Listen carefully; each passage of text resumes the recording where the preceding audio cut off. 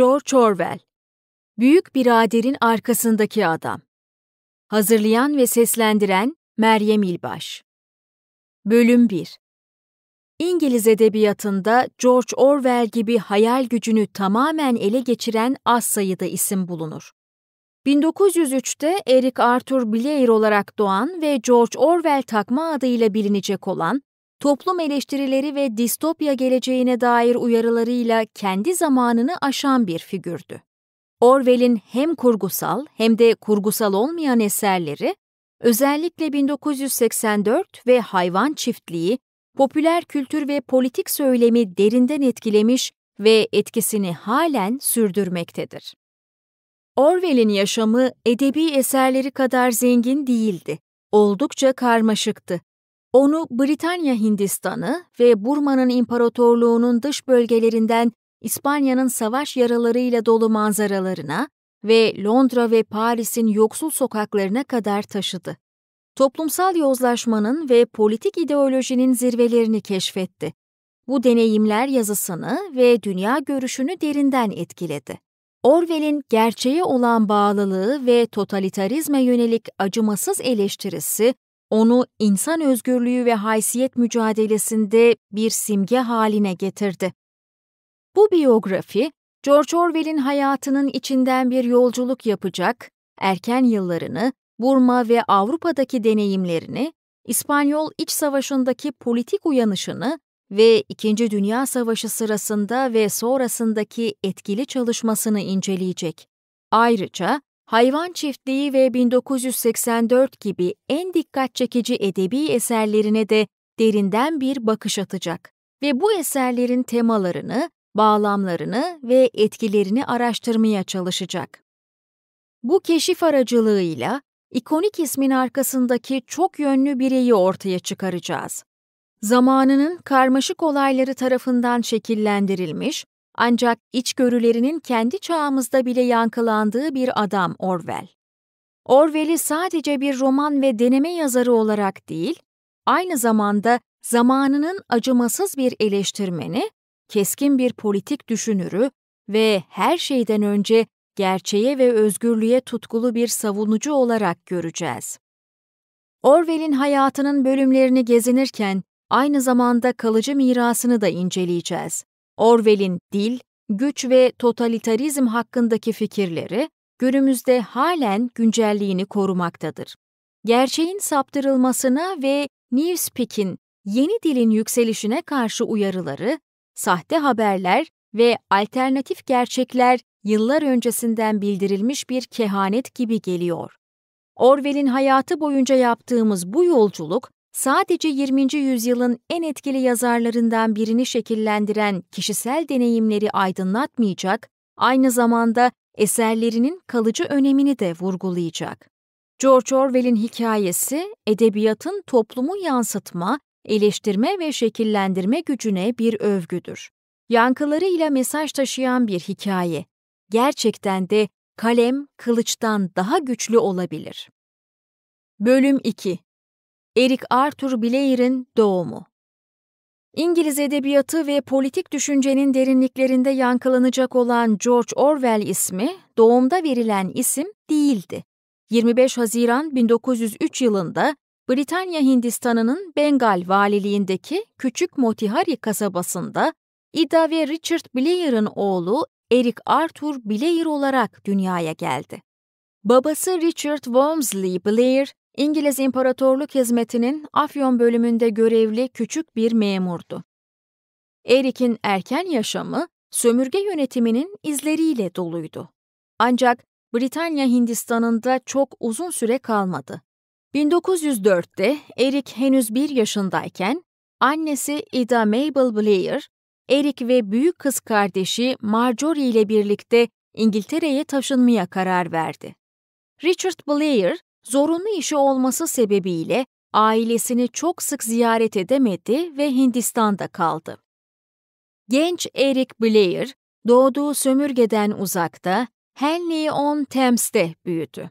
Ailesi entelektüel ve saygın olmasına rağmen zengin değildi. Tutkulu ve sevecen bir anne olan Ida Blair, elindeki sınırlı kaynaklarla çocuklarını yetiştirdi. Eric genç yaşta keskin bir entelektüelle yazmaya başladı. Annesi onu genellikle bir kitabın sayfalarında kaybolmuş ya da kendi hikayelerini yazarken bulurdu. Erken yazıları basit öyküler ve şiirlerden oluşuyordu ama bu ilk denemeler ileride onun geleceğin yazarı olacağının ilk işaretleriydi. Ailesi bu çalışmalarını teşvik etti. Onda daha parlak bir gelecek için üstün bir yetenek olduğunu fark etti. 1911'de 8 yaşındayken Eric Henley-on-Thames'teki küçük bir Anglikan kilise okuluna gönderildi. Burada ilk resmi eğitimini aldı. Aynı zamanda burada daha sonra eserlerinde tekrarlayan bir tema haline gelecek olan İngiltere'nin sınıf sistemine ilk kez şahit oldu. Eric'in eğitimi birçok yönden Britanya toplumunun kültürel ve entelektüel elitlerine bir yolculuktu. Ailesi, maddi sıkıntılarına rağmen ona sosyal statüsünü yükseltebilecek bir eğitim sağlamaya kararlıydı. Bu yolculuğun bir sonraki adımı, Eastbourne, Sussex'teki saygın bir hazırlık okulu olan St. Cyprian's'e kabul olacaktı. St. Cyprian's'teki deneyimleri genç Eric Blair üzerinde silinmez bir iz bıraktı. Sınıf, otorite ve İngiliz eğitim sistemi hakkındaki görüşlerini şekillendirdi. Eric Arthur Blair'ın erken yaşamının hikayesi, George Orwell'in ortaya çıkması için bir zemin oluşturur. Bu yaşam, sömürge yönetiminin kalıntılarıyla İngiliz sınıf sistemine karşı sertlikle ve yazma tutkusuyla şekillenmiştir. Bu erken deneyimler ne kadar sıradan veya zorlu olursa olsunlar, Orwell'in dünya üzerinde silinmez bir iz bırakacak düşüncelerinin şekillenmesinde kritik bir rol oynadı. Bölüm 3 Erken Eğitim ve Hoşnutsuzluk 1911'de 8 yaşındaki Eric Arthur Blair, gelecekteki George Orwell, Henley-on-Thames'teki küçük bir Anglikan kilise okulunda resmi eğitime başladı.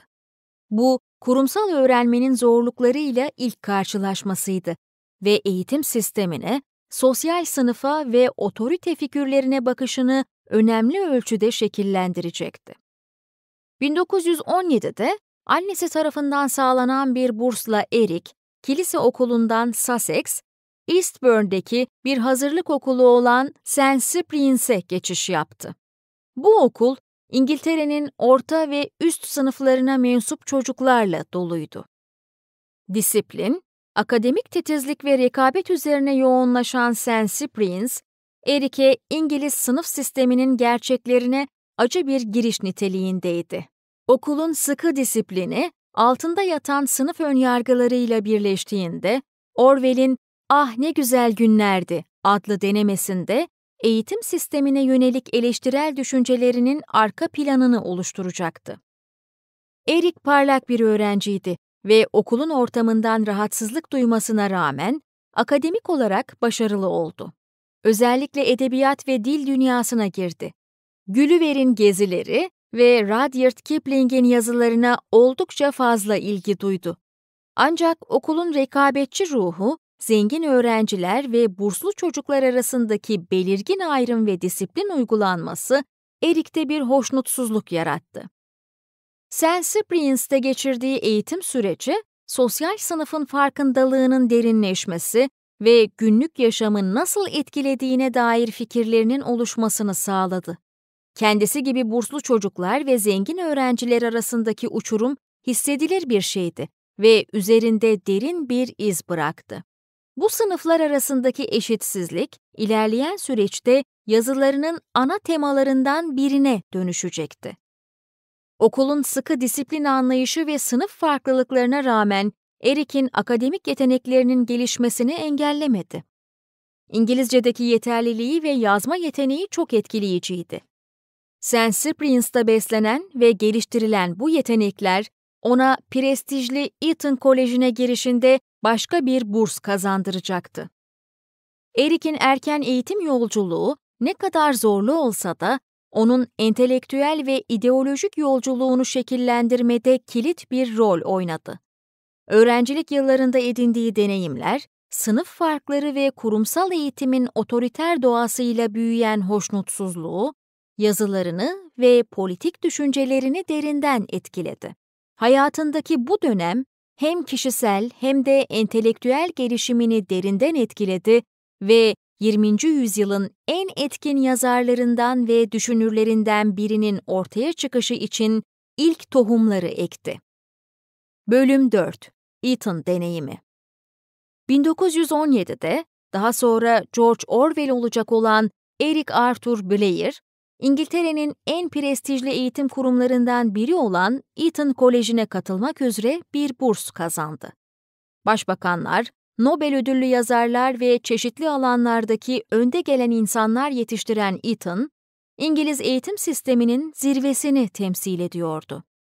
Blair için Eton'daki zamanı, entelektüel keşif ve kişisel gelişim anlamında önemli bir dönem olacaktı. Büyük mimarisi ve oturmuş eğitim gelenekleriyle Eton, kendi başına bir dünyaydı. Okulun bağımsız düşünceyi teşvik etme ünü, Blair'a St. Cyprian's'ta deneyimleyemediği bir özgürlük sundu. Önceki okulundaki sıkı disiplin ve hiyerarşi, yerini daha rahat ve özgüvenli bir öğrenme ortamına bıraktı. Bu değişim, Blair için hem özgürleştirici hem de zorlu oldu. St. Cyprian's'ın aksine Ethan, Blair'ın ilgi alanlarına daha derinlemesine girmek için ona zemin hazırladı. Kendini edebiyat dünyasına kaptırdı. İngilizce'de başarılı oldu ve yazma becerileriyle tanındı. Blair ayrıca tarihle ilgilenmeye başladı. Genellikle arkadaşlarıyla canlı tartışmalara katıldı. İlk ciddi yazılarını Eton'da yazmaya başladı. Düzenli olarak kolejin yayınlarına katkıda bulundu. Bu erken yazı denemeleri daha sonra olacağı parlak yazarı işaret ediyordu. Ancak Ethan'ın da zorlukları vardı. Okul ayrıcalıkla iç içeydi ve Blair'ın ilk olarak St. Cyprian's'ta karşılaştığı sınıf farkları burada daha da belirgindi. Ethan, fakir ama yetenekli öğrencilere burslar sundu. Ancak öğrencilerinin çoğu İngiltere'nin en zengin ailelerinden geliyordu. Bu belirgin zenginlik farkı, Blair'ın sınıf ayrımlarını şekillendirmeye devam edecek ve daha sonraki politik düşüncelerini etkileyecekti. Blair'ın Eton'daki zamanı, dünyadaki önemli olaylarla da çakıştı. Birinci Dünya Savaşı'nın sonuçları ve Rus devriminin başlangıcı, onu politik çatışmanın ve sosyal karışıklığın acı gerçeklerine maruz bıraktı. Bu olaylar, Eton'un duvarları içinde tartışıldı ve kuşkusuz Blair'ın gelişmekte olan politik bilincini etkiledi. Eton'daki akademik başarılarına rağmen Blair, üniversite eğitimi peşinde koşmaya karar vermedi. Bunun yerine onu Eton'un kutsal salonlarından uzaklaştırıp Burma'daki sömürge yönetiminin gerçeklerine derinlemesine dalacak bir yol seçti. Bu karar, resmi eğitiminin sonunu ve gerçek dünya eğitiminin başlangıcını işaret etti. Blair'ın Eton yılları entelektüel ve ideolojik yolculuğunu şekillendirmede önemli rol oynadı. Bu dönemde kazandığı deneyimler, ilişkiler ve öngörüler, yazar ve düşünür olarak gelişiminde paha biçilmez bir zaman dilimiydi. Birçok yönden Eton, genç Eric Blair'ın eşitsizlik, totalitarizm ve politik ikiyüzlülük eleştirmeni George Orwell'e dönüşmeye başladığı yıllardı. Bölüm 5 Burma'da Hayat ve Hint İmparatorluk Polisi Eton'daki zamanının ardından Eric Arthur Blair, birçok akranını şaşırtan bir karar verdi. Beklendiği gibi üniversite eğitimini sürdürmek yerine Hint İmparatorluk Polisi'ne katılmayı seçti. 1922'de 19 yaşındayken Blair, Britanya Hindistanı'nın bir eyaleti olan Burma'ya gönderildi. Bu karar, onu İngiltere'nin tanıdık manzaralarından uzaklaştırıp sömürge yönetiminin gerçeklerine gönderecekti. Burma'daki 5 yıllık görev süresi, Blair'ın politik bilincini ve emperyalizm hakkındaki görüşlerini şekillendirmede belirleyici oldu. Eyaletteki hukuk ve düzeni sağlamakla görevlendirildi. Bu görev, onu sömürge yönetiminin sert gerçekleriyle yüz yüze getirdi. Bir polis memuru olarak Blair, Britanya İmparatorluğu'nun yasalarını uygulamakla sorumluydu. Bu durum onu sık sık ahlaki ve etik ikilemlere soktu. Burma'da yaşamak ve çalışmak, Blair'ı emperyalizmin günlük adaletsizliklerine ve zorbalıklarına maruz bıraktı. Bu sistemin ayrılmaz bir parçası olan ırk ayrımcılığını, sömürüyü ve ekonomik eşitsizlikleri ilk elden deneyimledi. Burma'daki hükümete hizmet eden Britanya sınıfının bir parçası olmasına rağmen, Blair, emperyalist zorbalığın baskıcı mekanizmasındaki rolünden giderek daha fazla rahatsız oldu. İngiltere'deki hayatıyla Burma'daki hayatın gerçekleri arasındaki keskin çizgi, Blair'da derin bir değişikliğe neden oldu. Bir sömürge memuru olan görevinden giderek daha fazla hayal kırıklığına uğradı ve kendisine verilen Britanya İmparatorluğu'nun ilkelerini sorgulamaya başladı. Bu dönemdeki iç gözlem ve ahlaki sorgulama, Blair'ın emperyalizm ve eşitsizlik konusunda sesli bir eleştirmen haline gelmesinin başlangıcını oluşturdu. 1927'de Hint İmparatorluk Polisi'nde 5 yıl geçirdikten sonra Blair istifa etmeye karar verdi. Burma'daki deneyimleri onu hem duygusal hem de ideolojik olarak etkiledi. Yeni bir politik bilinç ve yazar olma kararlılığıyla İngiltere'ye döndü.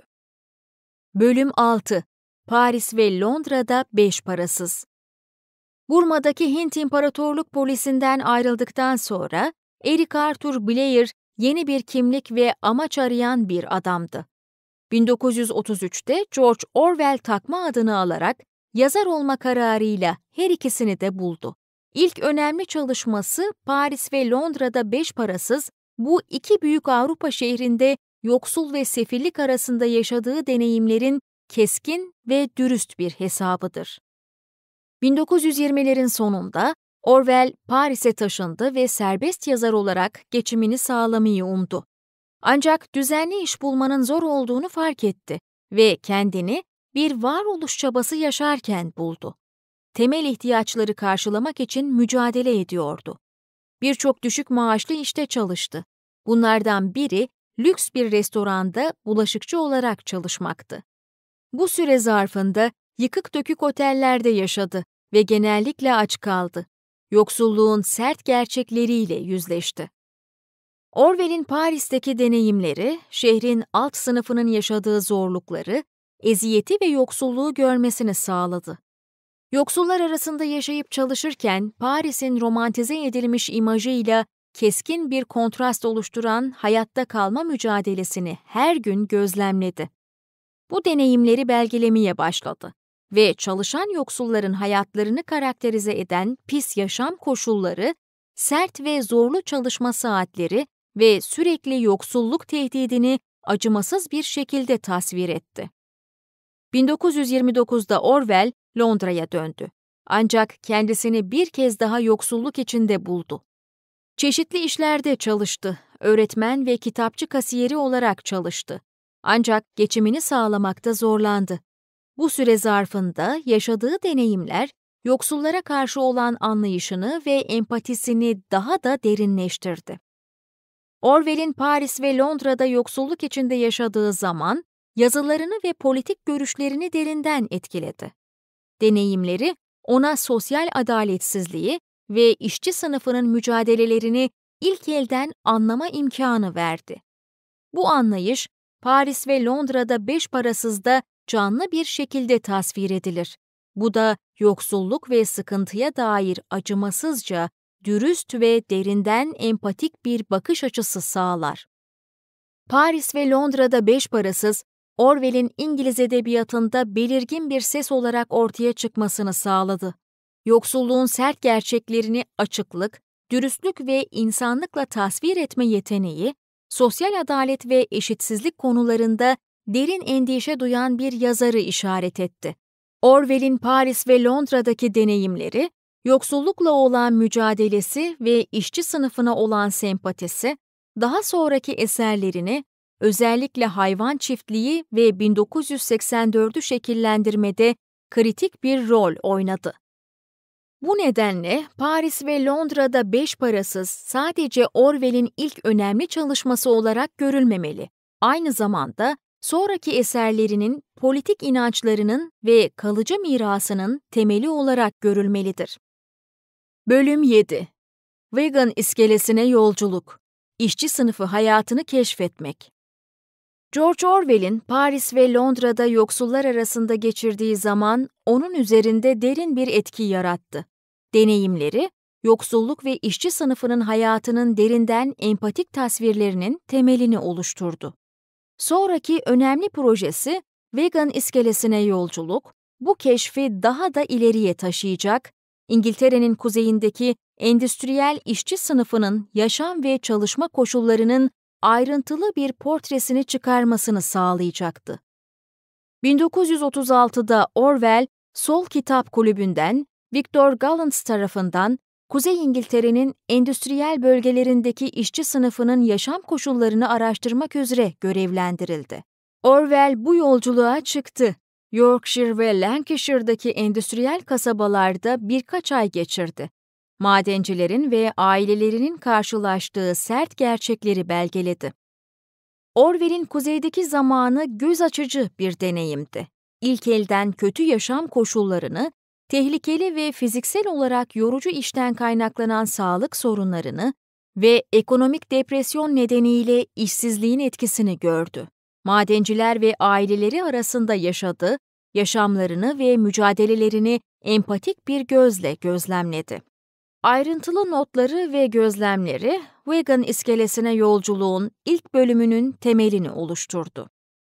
Kitabın ikinci bölümünde Orwell, sosyalist olarak gelişimini ayrıntılı olarak anlatan uzun bir otobiyografik deneme sunar ve orta sınıfın sosyalizme yönelik tutumlarının bir analizini yapar. O, gerçekçi, kapsayıcı bir sosyalizm için argümanlar sunarken, işçi sınıfı hayatının gerçeklerinden kopuk olduğuna inandığı yaygın sosyalizm biçimlerini eleştirir. Vegan iskelesine yolculuk, Orwell'in kariyerinde dönüm noktası bir çalışmaydı. Onun itibarını işçi sınıfı hayatının empatik bir kaydedicisi ve sosyal adaletsizliğin sesli bir eleştirmeni olarak daha da pekiştirdi. Kitabın endüstriyel kuzeydeki hayatın ayrıntılı tasviri, kapsayıcı bir sosyalizm için tutkulu argümanıyla birleştiğinde Orwell'in sosyal adalet ve eşitliğe olan bağlılığını gösterdi. Ancak kitap aynı zamanda tartışmalara da yol açtı. Kitabın ikinci bölümü, güncel sosyalizmi ve orta sınıf önyargılarını eleştiren kısmı, Sol Kitap Kulübü'nün bazı üyeleri tarafından tartışmalı olarak görüldü. Buna rağmen Vegan iskelesine yolculuk, Orwell'in yapıtlarında dönüm noktası bir çalışma olmayı sürdürüyor, iktidara gerçekleri söyleme taahhüdünü ve sosyal eşitsizlik gerçeklerini vurguluyor. Orwell'in Kuzey İngiltere'de geçirdiği zaman ve vegan iskelesine yolculuğun yazılması, onun politik inançlarını ve yazma yaklaşımını şekillendirmede kritik bir role sahiptir. Deneyimleri, yoksulluk ve sosyal eşitsizlik konusundaki anlayışını daha da derinleştirdi. Bu temalar çalışmalarını beslemeye devam edecekti. Vegan iskelesine yolculuk, işçi sınıfı hayatının gerçeklerini aydınlatma ve sosyal adaleti savunma taahhüdüne bir manifesto olarak önemini koruyor. Bölüm 8 Savaş ve Politika Katalonya'ya Selam George Orwell'in artan politik bilinci ve sosyal adalet taahhüdü onu 1936'da İspanya'ya götürdü. İspanya İç Savaşı, demokratik olarak seçilmiş cumhuriyetçi hükümetle General Francisco Franco liderliğindeki faşist güçler arasındaki çatışma, Avrupa tarihinde bir dönüm noktasıydı. Bu, birçok entelektüel ve aktivistin cumhuriyetçi davaya destek vermek için bir araya geldiği, zamanın ideolojik bölünmesini tanımlayan bir mücadeleydi. Sosyalizm ve demokrasi ideallerine derinden bağlı olan Orwell, cumhuriyetçi taraf için savaşmayı gönüllü olarak kabul etti devrimci sosyalist bir organizasyon olan POU milisine katıldı. İspanya'daki deneyimleri, politikanın, savaşın karmaşıklığının ve totalitarizmin tehlikelerinin anlaşılmasını tanımlayacaktı. Cephede geçirdiği süre boyunca Orwell savaşın zorluklarıyla uğraştı. Siperlerde savaştı, sürekli düşman ateşi tehdidiyle karşı karşıya kaldı ve yetersiz tedarik hatları ve yetersiz kaynakların zorluklarıyla uğraştı. Savaşta geçirdiği zaman ona savaş gerçeklerine dair derin bir anlayış sağladı. Bu anlayış daha sonraki yazılarının temelini oluşturacaktı. Orwell'in İspanya'daki deneyimleri sadece savaş alanıyla sınırlı kalmadı. Ayrıca Cumhuriyetçi tarafı rahatsız eden politik karmaşıklıkları ve iç çekişmeleri de gözlemledi. Antifaşist koalisyon içindeki çeşitli gruplar, komünistler, sosyalistler ve anarşistler birbirleriyle sıklıkla anlaşmazlık içindeydi. Bu da parçalanmış ve kaotik bir politik manzara oluşturuyordu. Orwell, daha radikal sosyalist ve anarşist grupları, Poum'u da içeren, baskılamaya çalışan Sovyet destekli komünistlerin eylemleriyle hayal kırıklığına uğradı. 1937'nin Mayıs ayında Orwell bir keskin nişancı kurşunuyla ciddi şekilde boğazından yaralandı. Yaralanması onu cepheden çekilmeye zorladı ve Barcelona'ya döndü. Burada komünistler tarafından Poum'un baskılanmasına tanık oldu. O ve eşi Alien tutuklanmaktan kıl payı kurtuldular. Hayal kırıklığına uğramış ve yüreği kırılmış bir şekilde İspanya'dan kaçtılar. Orwell'in İspanya'daki deneyimleri politik inançlarını ve totalitarizmin tehlikelerini anlamasını sağladı. 1938'de Katalonya'ya selamı kaleme aldı. İspanya'daki zamanını belgeledi ve savaşın ve politik karmaşıklıkların birinci elden panoramasını sundu. Kitap ilk çıktığında neredeyse hiç ilgi görmedi. Ancak o zamandan beri İspanya İç Savaşı'nın başucu kitabı ve Orwell'in eserlerinde anahtar bir metin haline geldi. Katalonya'ya selam, Orwell'in politik gelişimini ve totalitarizmin tehlikeleri konusundaki artan endişelerini anlama açısından önemli bir çalışmadır. Kitap, daha sonra tanımlayıcı olacak temaları öngörüyor, özellikle hayvan çiftliği ve 1984. İspanya İç Savaşı, politikanın ve savaşın karmaşık etkileşimleriyle Orwell'in politik bilincinin şekillendiği bir kıvılcım görevi gördü. 20. yüzyılın en etkili seslerinden biri olacak olan yazarın ve düşünürün oluşmasına en büyük katkıyı sundu. Bölüm 9 İkinci Dünya Savaşı'nda bir ses İkinci Dünya Savaşı Avrupa'da patlak verdiğinde, George Orwell kendini bir kez daha çatışmanın korkuları ve dönemi tanımlayan ideolojik savaşlarla karşı karşıya buldu. İspanya İç Savaşı'ndan aldığı yara, onun askeri alınmasını engellese de Orwell bir yazar, yayıncı ve yorumcu olarak savaşta önemli bir rol oynadı. Ağustos 1941'de Orwell, BBC Doğu servisinde işe başladı. Burada Hint bölümü için bir yapımcı ve sunucu olarak çalıştı. Ana sorumluluğu, propaganda karşıtı ve İngiltere'nin Hindistan'daki savaş çabasını teşvik eden radyo yayınları oluşturmak ve denetlemekti. BBC'deki görev süresi boyunca Orwell bir yayıncı olarak becerilerini geliştirdi ve radyoda saygı gören bir ses oldu. Ancak Orwell'in BBC'deki deneyimleri, hükümet organizasyonu içinde çalışmanın getirdiği bürokrasi ve sansürle giderek daha da zorlaştı. Bu zorluklara rağmen BBC'deki zamanı ona çeşitli entelektüellerle, yazarlarla ve aktivistlerle etkileşim kurma fırsatı verdi.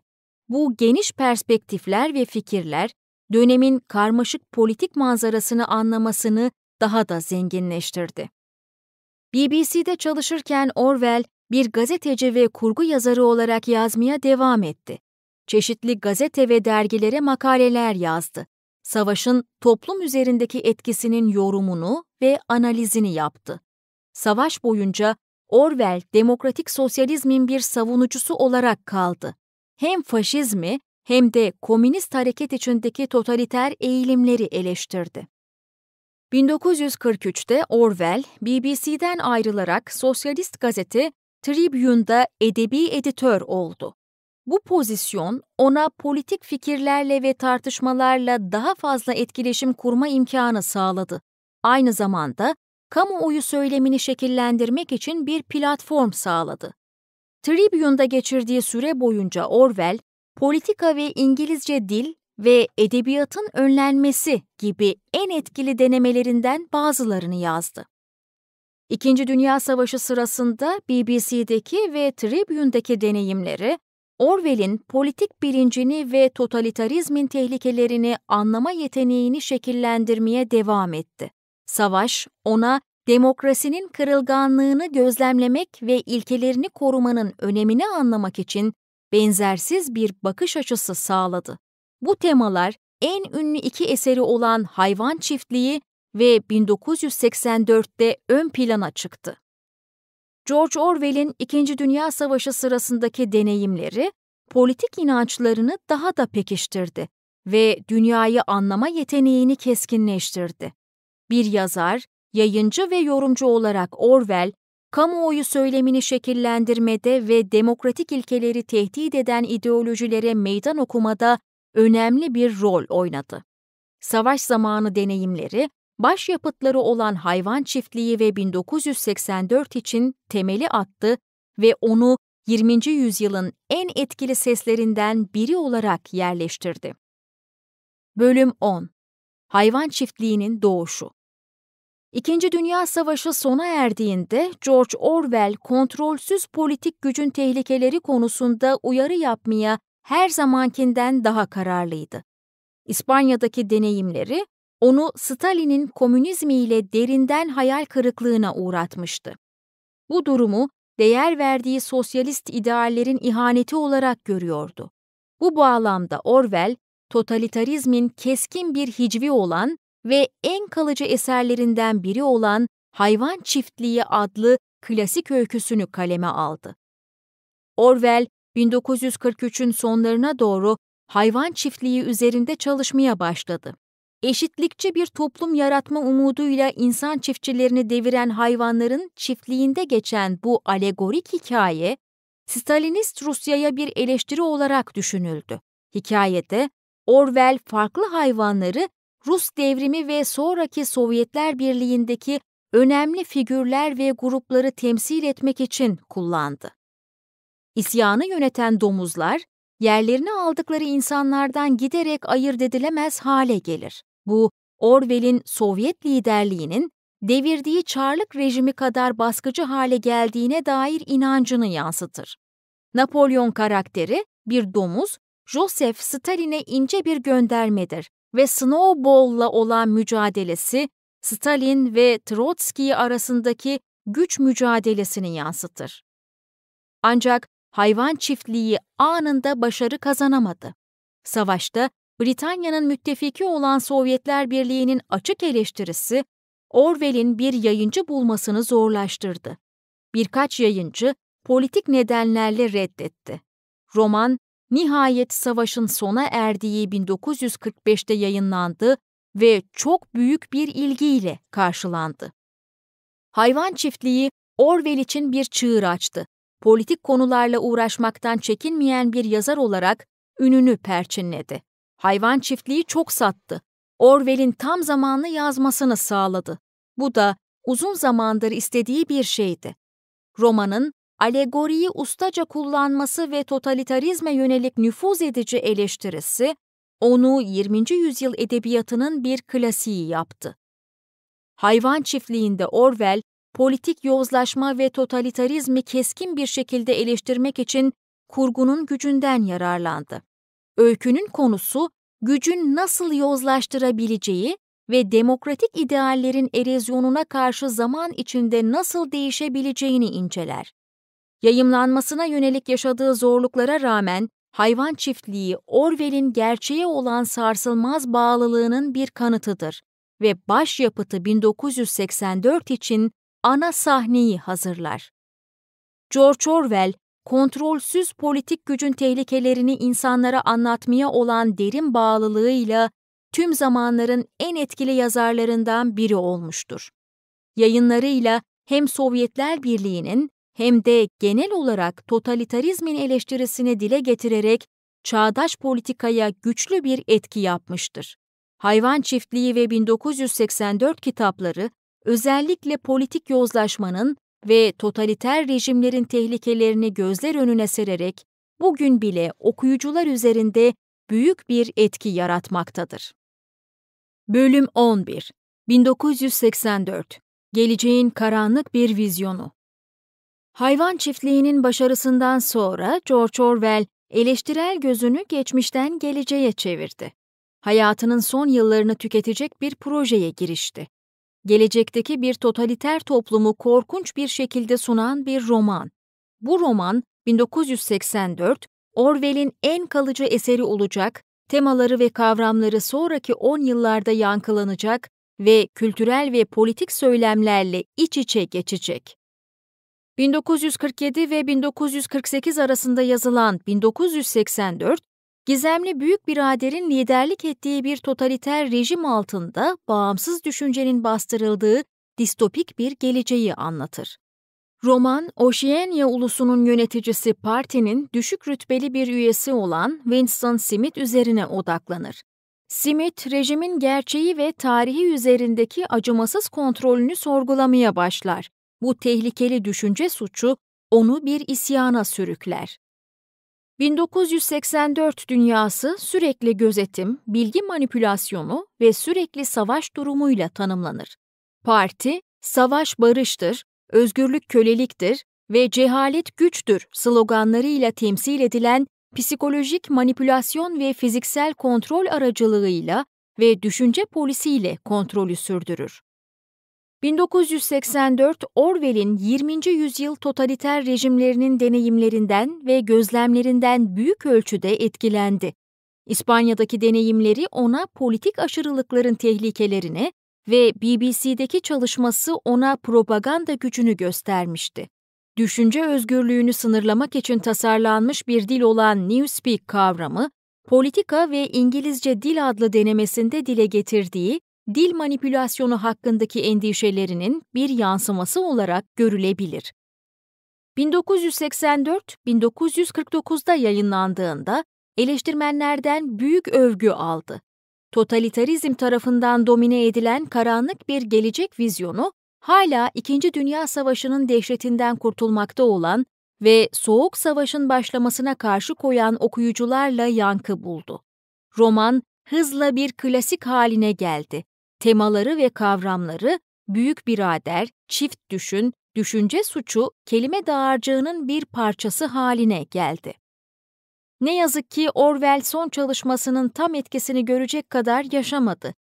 Zaten tüberkülozdan dolayı zayıflamış olan sağlığı, 1984'ün yayınlanmasının ardından hızla daha da kötüye gitti. 1950'nin Ocak ayında romanın yayınlanmasından sadece 7 ay sonra öldü. 1984 George Orwell'in edebiyata son ve belki de en büyük hediyesi. Totalitarizmin tehlikelerine ve gerçeğin manipülasyonuna karşı keskin uyarısı, yarım yüzyıldan fazla bir süre boyunca canlı kalmıştır. 1984'te Orwell sadece bir roman değil, her zaman için bir ders kitabı oluşturdu. 20. yüzyılın en etkili yazarlarından ve düşünürlerinden biri olarak kalıcı mirasına bir kanıt bıraktı. Bölüm 12 Sağlığın Düşüşü ve Son Yıllar George Orwell'in yazar ve düşünür olarak ünü artarken sağlığı hızla kötüye gidiyordu. Yıllardır antibiyotik bulunmadan önce ölümcül bir hastalık olan tüberkülozla savaşıyordu.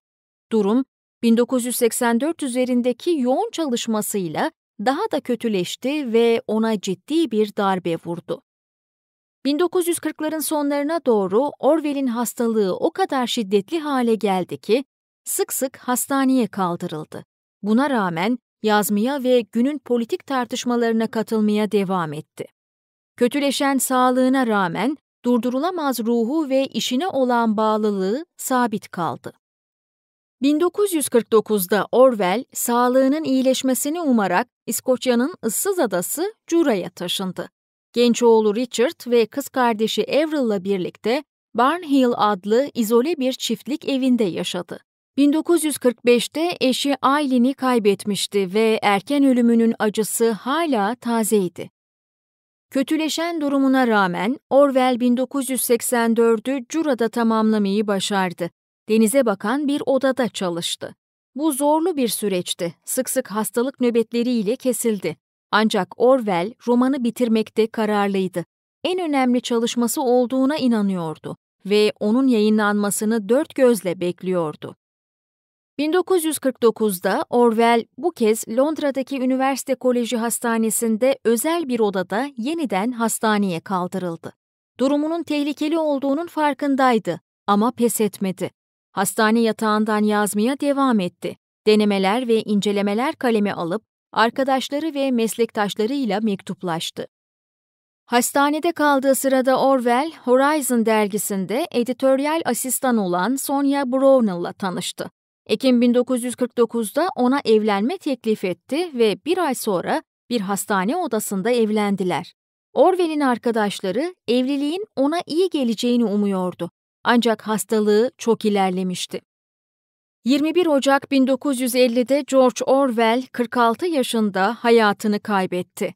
Ölümü durmayan zihinsel bir merak, derin toplumsal bilinç ve yazmaya olan derin bir bağlılıkla mühürlenmiş bir yaşamın sonunu işaret etti. Romanları Hayvan Çiftliği ve 1984 geniş kitlelerce okunmaya ve tartışılmaya devam etti. Temaları ve fikirleri sonraki 10 yıllarda güçlü bir şekilde yankı buldu. Erken ölümüne rağmen Orwell'in sesi hiç kısılmadı. Bu da onun eserlerinin kalıcı etkisinin bir kanıtı oldu. Bölüm 13 George Orwell'in mirası Ölümünden yıllar sonra George Orwell'in etkisi her zamanki kadar güçlü kalmıştır. Eserleri özellikle 1984 ve Hayvan Çiftliği, dünya genelinde milyonlarca kişi tarafından okunan edebiyat eserlerinin temelini oluşturmuştur. Politika, dil ve totalitarizmin doğası hakkında tartışmaları ilham vermeye devam ediyor gerçeğin manipülasyonu ve kişisel özgürlüklerin kısıtlanması hakkındaki fikirleri ve uyarıları ilk yayınlandıklarında olduğu gibi bugün de geçerlidir. Orwell'in 1984'te tanıttığı kavramlar, büyük birader, çift düşün, düşünce suçu, günlük dili etkilemiş genellikle gözetim, hükümet kontrolü ve gizlilik hakkındaki tartışmalarda kullanılmıştır. Orwellian, bireysel özgürlüğü tehdit eden veya gerçeği çarpıtan eylemleri veya fikirleri tanımlamak için yaygın bir sıfat haline gelmiştir. Onun distopik vizyonu, kontrolsüz gücün tehlikeleri ve bireysel özgürlüklerin kısıtlanması konusunda sürekli bir uyarı olarak göz önündedir. Hayvan çiftliği hala totalitarizmin güçlü bir alegorik eleştirisi olmaya devam etmektedir sosyalist ideallerin yozlaşmasının ve devrimci coşkunun ihanetinin tasviri her yeni nesilde yankı bulur. 1984 gibi hayvan çiftliği de sıklıkla okullarda okutulur. Genç okurları Orwell'in politik fikirlerine ve alegorinin becerikli kullanımına davet eder. Romanlarının ötesinde Orwell'in denemeleri ve gazeteciliği de etkili olmaya devam etmiştir. Kolonyalizm ve yoksulluktan edebiyata ve dile kadar çeşitli konulardaki fikirleri okurlara ve yazarlara ilham vermeye devam etmektedir. Net ve dürüst dil kullanımının önemini tartışırken sıkça atıfta bulunulan politika ve İngiliz dili başlıklı denemesi, belirsiz ve dürüst olmayan politik yazıyı eleştirmektedir. Orwell'in etkisi edebiyat ve politikanın ötesine uzanır. Eserleri, filmler, televizyon programları, müzik ve sanata ilham kaynağı olmuştur. Bu da onun kalıcı kültürel etkisinin bir başka kanıtıdır. Terry Gilliam'ın distopik filmi Brezil'den David Bowie'nin Diamond Dogs albümüne kadar Orwell'in vizyonu ilham vermeye devam etmektedir. George Orwell'in mirası yazılı kelimenin gücüne ve entelektüel cesaretin önemine bir övgüdür. Orwell bir zamanlar aldatma anında gerçeği söylemek devrimci bir eylemdir diye yazmıştı. Bu sözler tıpkı eserleri gibi zor zamanlarda bir eylem çağrısı ve umut ışığı olmaya devam ediyor. Bölüm 14 Sonuç George Orwell'in hayatına ve mirasına baktığımızda, zamanının ötesine geçen bir adamın entelektüel cesareti ve gerçeğe olan bağlılığını görüyoruz. Britanya Hindistan'ında Eric Arthur Blair olarak doğan Orwell, Eton'un prestijli salonlarından Londra ve Paris'in gecekondu bölgelerine, İspanya'nın savaş alanlarından Cura'nın uzak İskoç adasına kadar olağanüstü bir yaşam yolculuğunu yönetti. Hayatı boyunca Orwell, iki dünya savaşı, totaliter rejimlerin yükselişi ve Soğuk Savaş'ın başlaması dahil 20. yüzyılın en önemli olaylarına ve değişimlerine tanıklık etti. Deneyimleri politik inançlarını şekillendirdi ve yazısını besledi. Ona zamanının en etkili yazarları ve düşünürleri arasında bir yer kazandıran içgörüler ve inanç sağladı. Orwell'in eserleri özellikle 1984 ve Hayvan Çiftliği, zamanın sınavını geçmiş, temaları ve uyarıları güçlü bir şekilde çağdaş dünyamızda yankılanmıştır. Kontrolsüz gücün tehlikeleri, gerçeğin manipülasyonu ve bireysel özgürlüklerin aşınması konusunda sürekli bir hatırlatma görevi görürler. Gözetim, propaganda ve bilgi kontrolü gibi konularla boğuşurken 21. yüzyılın karmaşıklığını anlamaya çalışırken Orwell'in yazıları hala değerli içgörüler ve uyarılar sunmaktadır.